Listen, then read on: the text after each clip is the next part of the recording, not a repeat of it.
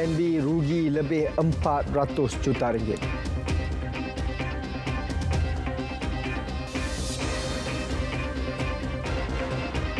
Assalamualaikum, salam Malaysia Madani. Berita tengah malam sama saya Sahih Samsudin. Tenaga Nasional Berhad TNB mencatatkan kerugian berjumlah 441.6 juta ringgit akibat kecurian elektrik bagi kegiatan pelomongan Bitcoin. Kerugian itu sepanjang tempoh 2020 hingga September lepas. Mendedahkan perkara itu, pengarah JSJ Bukit Aman, Datuk Seri Muhammad Syuhaili Muhammad Zain, maklumat diperoleh hasil daripada operasi bersama yang dijalankan JSJ dengan TNB dalam tempoh berkenaan. Tahun 2020 anggaran hampir 5.9 juta.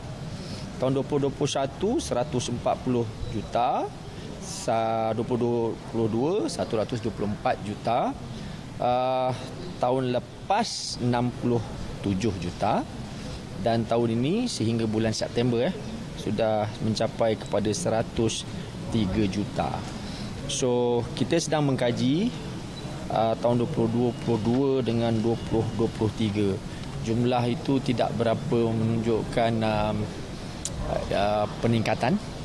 Adakah ia disebabkan uh, pasaran ataupun ia melibatkan kekangan daripada sudut penugasan kami sendiri Beliau maklumkan kerjasama TNB dan JSJ dalam menangani kegiatan kecurian arus elektrik ini terjalin sejak tahun 2020.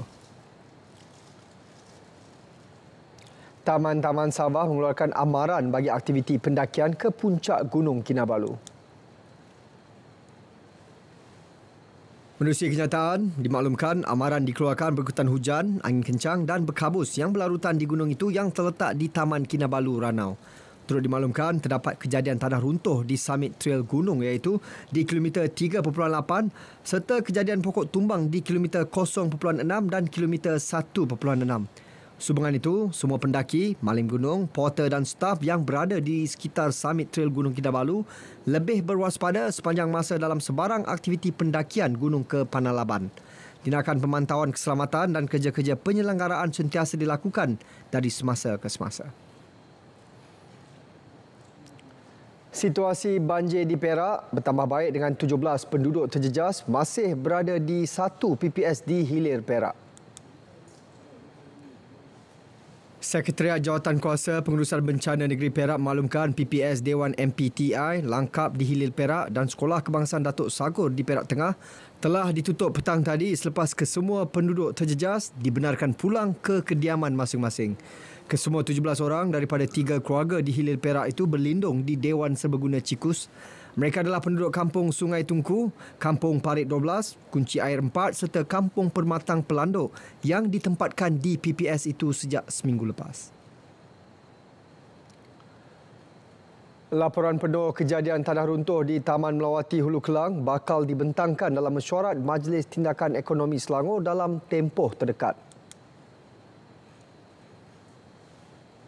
Menteri Besar Datuk Seri Amiruddin Syari memaklumkan masih meneliti dapatan laporan berhubung punca bencana itu sebelum dibentang dan dibincangkan untuk tindakan lanjut. Beliau turut memaklumkan lokasi insiden disahkan selamat dan penduduk terkesan serta dipindahkan sementara telah dibenarkan pulang ke rumah masing-masing. Majlis Perbandaran Ampang Jaya juga telah membina tembok penghadang yang boleh mengurangkan kesan buruk sekiranya gelongsoran tanah berlaku semula. Sebelum ini, beliau dilaporkan berkata Jabatan Mineral dan Geoscience sedang menjalankan siasatan terperinci di kawasan tanah runtuh di Jalan E6 Taman Melawati sebelum laporan penuh berhubung kejadian dikeluarkan. Malaysia berpeluang mempelajari pelbagai aspek pengurusan bencana daripada negara ASEAN menerusi mesyuarat Menteri-Menteri ASEAN mengenai pengurusan bencana. Pelbagai perkongsian amat bermanfaat kepada Kuala Lumpur. Timbalan Perdana Menteri Datuk Seri Dr. Ahmad Zaid Hamidi berkata, menerusi kerjasama serta perkongsian kepakaran, Malaysia akan berupaya membina dan meningkatkan keupayaan rantau ASEAN. The challenge of climate change has highlighted the urgency of our efforts in disaster resilience. Unpredictable weather patterns and more frequent extreme events make a unified regional response more crucial than ever. Malaysia remains dedicated to strengthening our collective resilience grounded in solidarity and mutual Jelasnya Kuala Lumpur akan terus menelaskan strategi dari persidangan Menteri Asia Pasifik mengenai pengurangan risiko bencana yang telah berlangsung di Manila baru-baru ini. Penyediaan infrastruktur termasuk projek mitigasi banjir di Ibu Negara antara lima fokus utama di BKL menjelang kepengurusian ASEAN 2025. Fokus lain termasuk pengindahan, pencahayaan, penambahbaikan jalan serta promosi ASEAN 2025. First thing is that we have to clean up the the the longkang yang yang yang tersumbat. We work together with SW Corp and Alam Flora. Second is also we have to dig up the sungai-sungai yang siltation and we have to look into the it's an immediate we have to look into the uh, uh, retention pond. We have to clean up the retention pond. Now dulu sungai uh, every three month kita clean up but now during this uh, uh, October, November and in future we will do it twice a month. Turut dimaklumkan kerja pembersihan longkang, sungai serta kolam takungan banjir akan giat dijalankan sebagai usaha menangani risiko banjir kilat. 108 individu dikesan mengalami keracunan makanan selepas makan dan minum di sebuah restoran di Pengkalan Cepa sejak 18 Oktober lepas. Angka itu termasuk 9 orang yang masih dirawat di Hospital Raja Perempuan Zainab II, Kota Baru. Pengarah Kesihatan Negeri Dato Dr Zaini Hussein berkata, 18 daripada individu dimasukkan ke hospital kerajaan dan swasta dengan 9 daripadanya telah dibenarkan pulang. 50 yang lain menerima rawatan sebagai pesakit luar manakala bakinya tidak mendapatkan rawatan. Laporan berkaitan kejadian diterima Pejabat Kesihatan Daerah Kota Baru daripada klinik swasta dan hospital kerajaan yang merawat pesakit berkenaan. Siasatan awal mendapati kesemua mereka mempunyai sejarah memakan ayam tanduri di restoran berkenaan pada 17 Oktober lepas. Namun siasatan lanjut masih dijalankan. Pemeriksaan terhadap premis makanan itu telah dijalankan dan diarah tutup di bawah Seksyen 18, Kurungan 1, Akta Pencegahan dan Pengawalan Penyakit 1988 dalam Kurungan Akta 342. Pihak pendakwaan kes rasuah terowong dasar laut melibatkan Lim Guan Eng membantah soalan dikemukakan pasukan pembelaan yang tidak mempunyai kaitan dengan pertuduhan berkenaan. Timbalan Pendakwa Raya Datuk Wan Syahrudin Wan Ladin membuat bantahan soalan yang dikemukakan kepada bekas pengarah konsortium Zenith Construction Sembilan Berhad, Datuk Zarul Ahmad Muhammad Zulkifli yang juga saksi pendakwaan ke-23. Hakim Azura Alwi kemudian membenarkan bantahan pihak pendakwaan dan memerintahkan soalan itu dibuang kerana tidak relevan. 15 November ini ditetapkan untuk menyambung perbicaraan kes.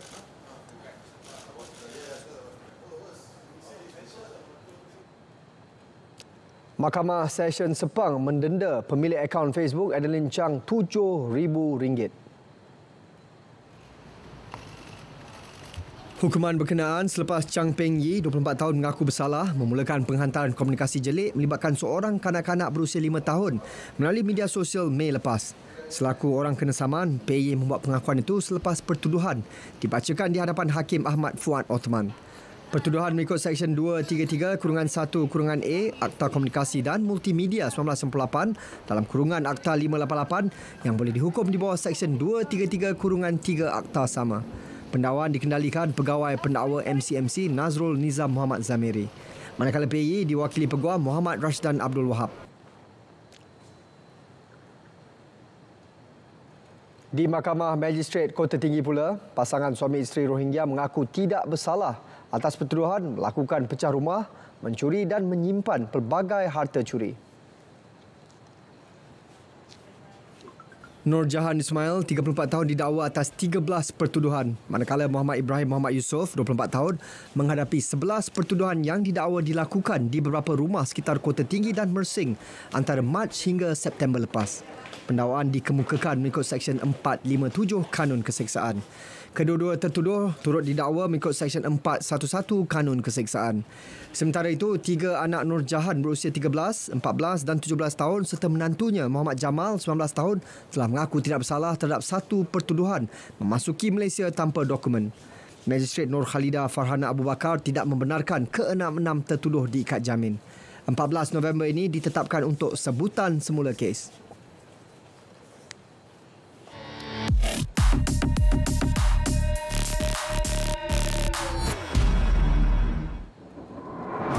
Kecoh, kononnya kumpulan pengamal perubatan tertentu di Kementerian Kesihatan tak lagi dapat pelepasan selepas bertugas tempoh panjang. Tak terkecuali mereka yang bekerja lebih 24 jam. Pengenalan dasar tersebut menyebabkan ramai yang merungut. Semakan pasukan biar betul mendapati polisi yang diperkatakan itu tak wujud. Menurut Menteri Kesihatan, pihaknya tak pernah buat ketetapan sedemikian. Malah, tiada pekeliling berkaitan perkara itu dikeluarkan pihaknya. Beliau sebaliknya beri jaminan untuk sentiasa menjaga kebajikan, kesihatan dan kesejahteraan para petugas kesihatan. Usah cipta kontroversi yang tak perlu. Selain timbulkan kegusaran, penyebaran berita palsu juga adalah kesalahan. Terima bahan fitnah atau disyaki tidak betul, segera lapor ke MCMC. Biar betul, tak pasti, jangan kongsi.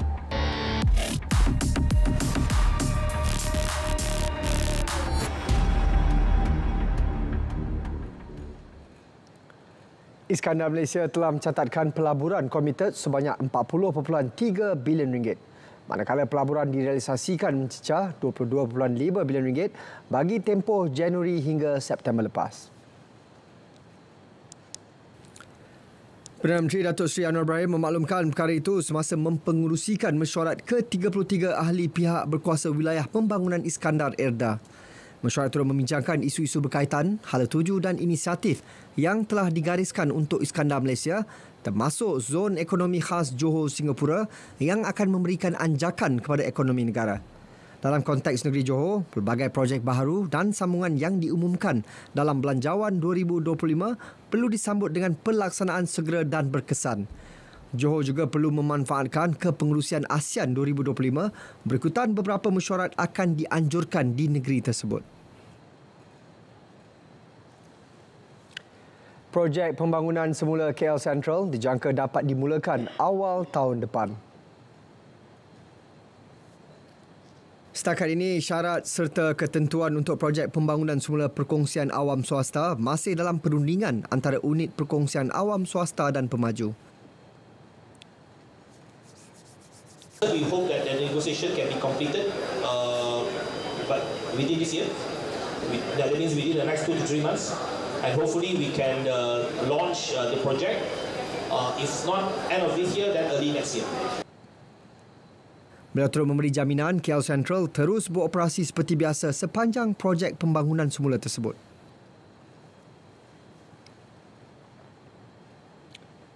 20,000 bakal pembeli rumah pertama menerima manfaat skim jaminan kredit perumahan SJKP.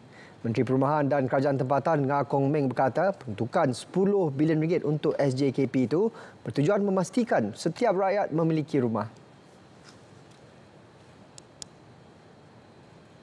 Khususnya untuk pekerja-pekerja gig ekonomi, mahasiswa yang baru lepasan universiti, mereka kebanyakan ke tak dapat pinjaman perumahan tapi dengan skim jaminan kredit perumahan tambah lagi 10 bilion ringgit maka okay, uh, mereka boleh dapat pinjaman uh, beli rumah dan dijamin uh, oleh kerajaan madani Mengulas lanjut, beliau memaklumkan pelepasan cukai bagi bayaran faedah pinjaman perumahan diberikan sehingga RM7,000 kepada pembeli rumah pertama bagi harga kediaman di bawah RM500,000 selama 3 tahun bermula tahun depan.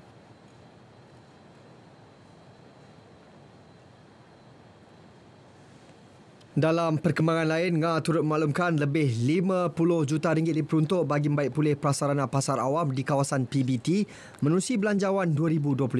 Peruntukan merangkumi cadangan pembinaan pasar baru dengan mekanisme baru dilaksana bagi pemilihan tender.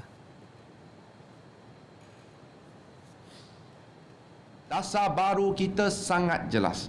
Mana-mana pembinaan pasar awam bernilai 10 juta ke atas, Okey, wajib bukan saja tender terbuka, okey, KPKT akan bekerjasama dengan Pertubuhan Arkitek Malaysia PAM untuk membuat pertandingan seni banner secara terbuka.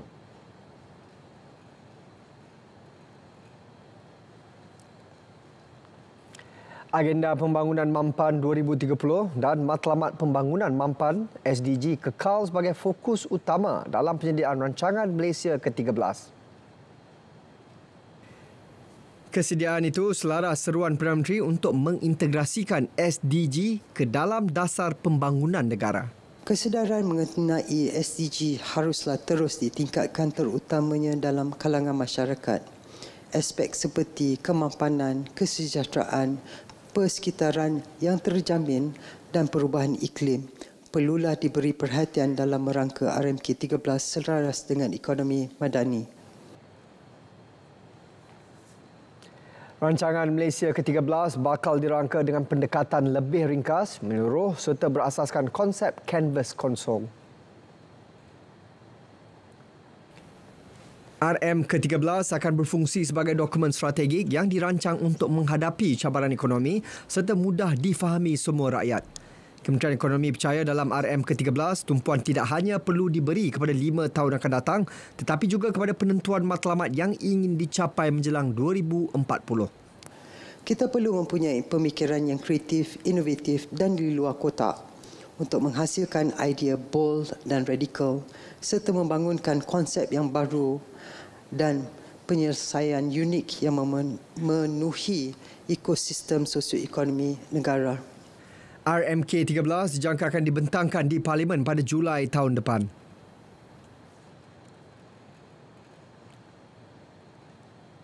Ekonomi Malaysia diunjur berkembang 4.8% tahun ini disokong keadaan ekonomi yang dinamik. Ketua Ahli Ekonomi Alliance Asia Tenggara, Ludovic Subran menjelaskan pertumbuhan akan dipacu ekspor yang bertambah baik serta permintaan dalam negeri yang kekal berdaya tahan. Peralihan kepada tenaga lestari berpotensi memberi nilai tambah kepada ekspor seiring keperluan global yang semakin meningkat. Malaysia juga wajar memanfaatkan kepakaran dan kedudukannya yang strategik dengan menumpukan ekspor bukan barangan seperti perkhidmatan.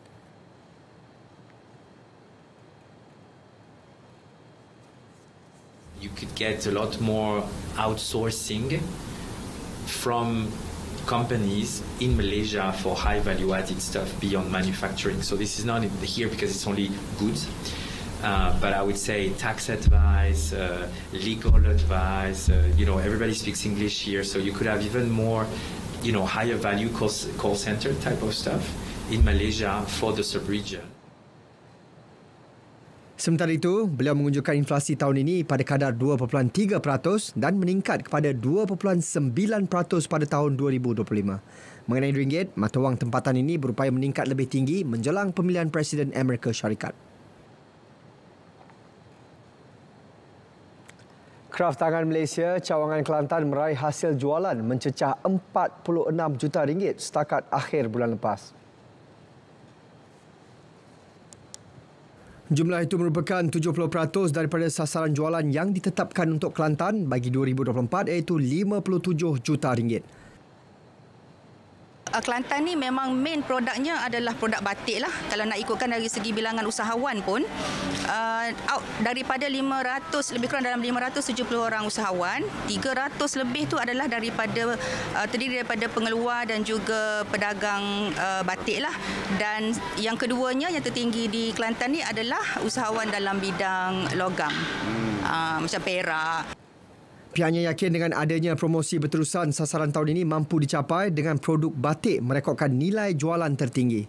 Bilangan usahawan kraft di seluruh negeri ini juga berjumlah 570 orang dengan kira-kira 300 daripadanya adalah usahawan batik. Penganjuran pertandingan teater bahasa Melayu di Sekolah Jenis Kebangsaan Cina SJKC peringkat kebangsaan platform menggalakkan penggunaan bahasa kebangsaan. Menteri Perpaduan Negara Datuk Aaron Agodagang berpandangan bahasa kebangsaan merupakan salah satu tiang seri dalam pembinaan negara bangsa. Ini adalah satu aktiviti di bawah Kementerian Perpaduan Negara. Sebab uh, apabila kita uh, uh, mengatakan perpaduan dan kemunian uh, rakyat kita, inilah apabila kita uh, membuat ini adalah tapak tapak integrasi, tampak ke keharmonian di, di kalangan rakyat kita apabila kita datang untuk uh, membuat aktiviti seperti ini dan kalau kalau kita melihat tadi uh, bahasa Malaysia ini di di apa nama tu dibawa kepada teater oleh anak-anak Cina uh, itu adalah uh, membanggakan kita. Tambah beliau, menerusi dasar perpaduan negara, bahasa Melayu perlu dipelihara dan dimartabatkan sebagai bahasa yang mencerminkan identiti nasional. Bahasa kebangsaan mampu menyimpul kukuh ikatan perpaduan negara yang berbilang bangsa sebagai bahasa pengantar utama. Beliau menjelaskan demikian selepas merasmikan pertandingan teater bahasa Melayu Sekolah Jenis Kebangsaan Cina peringkat kebangsaan di Ibu Negara. Program turut melibatkan kerjasama strategik Persatuan Han Malaysia, Dewan Bahasa dan Pustaka, Jabatan Kebudayaan dan Kesenian Negara serta Kementerian Pendidikan. Putera Sultan Pahang Tengku Arif Bendahara Tengku Muhammad Iskandar Riyatuddin Shah dan Tengku Natasha Putri Tengku Anan selamat diijab kabulkan dengan sekali lafaz. Istiadat akad nikah berlangsung di Balai Mahkota Istana Abdul Aziz Kuantan. Pasangan pengantin diraja ini dinikahkan sendiri bapa pengantin perempuan Datuk Seri Tengku Anan Tengku Mansur disaksikan Tengku Panglima Raja Brigadier Jeneral Tengku Amir Nasir Ibrahim Shah sebagai saksi pertama. Manakala Tengku Panglima Perang Tengku Ahmad Ismail Muazzam Shah sebagai saksi kedua serta dua saksi dari pihak pengantin perempuan. Istiadat kemudian diteruskan dengan majlis menyarung cincin perkahwinan dan majlis merenjis yang disempurnakan Al-Sultan Abdullah dan Tengku Ampuan Pahang Tengku Azizah Aminah Maimunah Iskandariah disusuli Tengku Mahkota Pahang Tengku Hasan Al-Ibrahim Alam Shah. Turut hadir Paduka Kakanda dan Adinda Tengku Muhammad Iskandar Riyatuddin Shah, kerabat diraja Pahang serta Menteri Besar Datuk Seri Wan Rosdi Wan Ismail dan isteri. Seterusnya istiadat akan diteruskan dengan istiadat berinai esok dan istiadat persandingan diraja pada ahad ini. Semua istiadat disiarkan secara langsung melalui dua layar besar yang disediakan di dataran Majlis Bandaraya Kuantan MBK dan sebuah layar di dataran Pekan.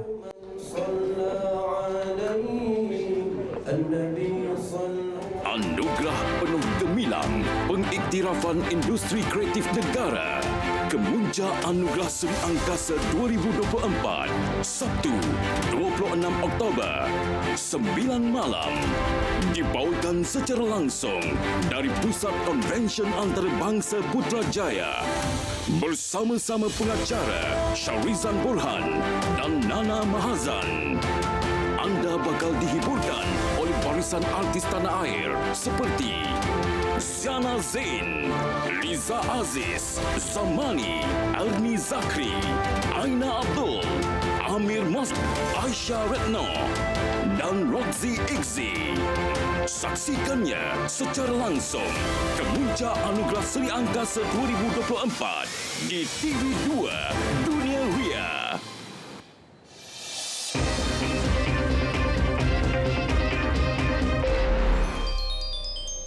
Grand Final Kuda Merah International Muay Thai Challenge 2024, Kelab Muay Thai Kuda Merah menjanjikan saingan lebih sengit dan kompetitif dalam meneruskan tradisi 75 tahun penganjuran.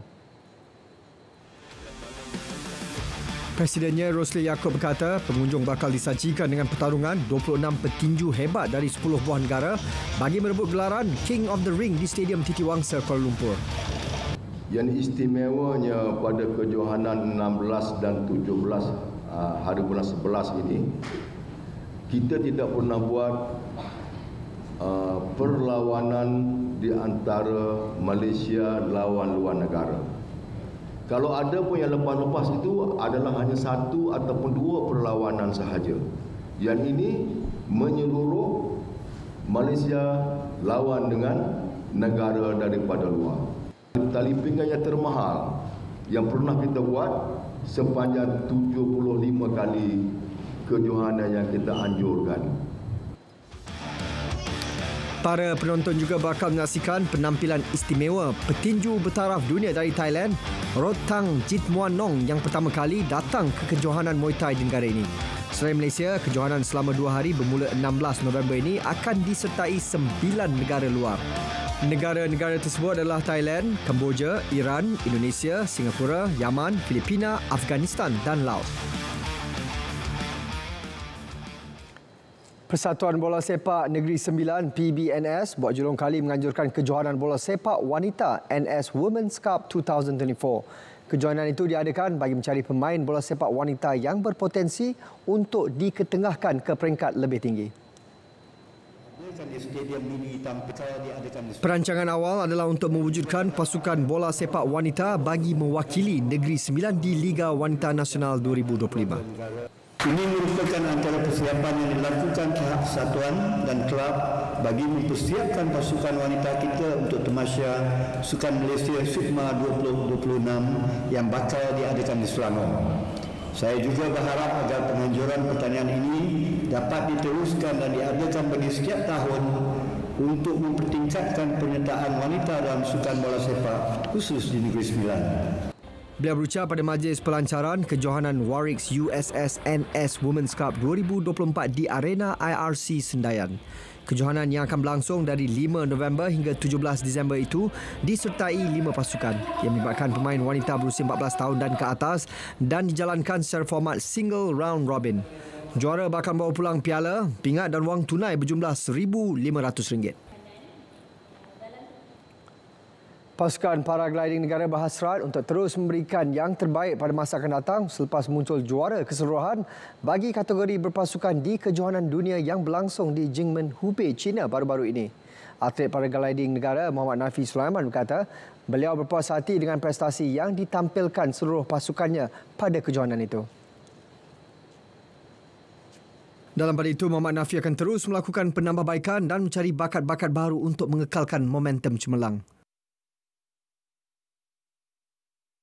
banyak lagi strategi yang perlu diatur pada masa-masa akan datang uh, dari segi sumber kewangan untuk kita uh, dapatkan dan juga latihan yang berterusan bagi mencari atlet baru juga dalam uh, acara paragliding berperingkat uh, dunia ini dan mengekalkan konsistensi meletakkan Malaysia sentiasa berada di atas. Pada kejohanan berkenaan, pasukan paragliding negara muncul juara keseluruhan daripada 10 pasukan yang bertanding. Dalam pada itu, beliau juga berjaya meraih tempat kedua bagi kategori individu. Perlawanan bola sepak Liga Super 2024 terus terbang tinggi memburu mangsa. Sang Helang Merah kali ini bakal berdepan skuad Sang Saka Biru. Jumaat 25 Oktober, Kedah Darul Aman FC bertemu PDRM FC 8.30 minit malam di saluran Sukan RTM. Saksikan juga secara penstreaman langsung di RTM Click. Sekian berita tengah malam dari Sungai ke Segara Palestin Pasti Merdeka. Assalamualaikum dan selamat malam.